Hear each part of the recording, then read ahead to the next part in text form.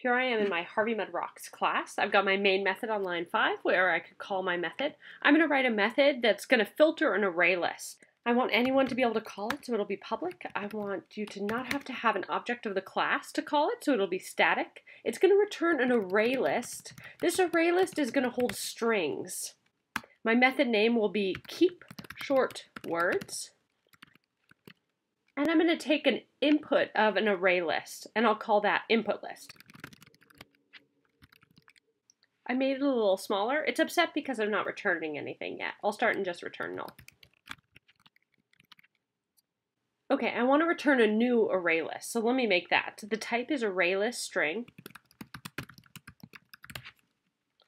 I'll call it output list. And I want to create a new object, so I need to use the keyword new, and then I need to tell it the type of the object. And when I call new, that's uh, calling a constructor, so I need these parentheses.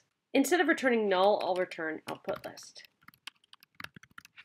I see I've got an error here, but I can click and add import arraylist.java.util.arraylist. Ah. Now I want to loop through every element of my input list. My input list, I need its, uh, functionally its length, with array lists, it's called size. So I want to loop while index is less than input list dot size. And again, I have my parentheses because size is a method. Let me pull the current word that I'm looking at as I'm iterating through the array list uh, and save that. That'll be of type string. It's going to come from the input list, and here I'm going to call the method get. And get takes in an index, so I'll use uh, my variable index. And the fact that it takes in an index and that the, this variable is called index is just a coincidence, or really good naming. Okay, so if this word is less than five letters, I want to keep it. So I can get the length of the word by saying current word dot length, again calling that method and comparing it to five. I'll put this inside of an if statement.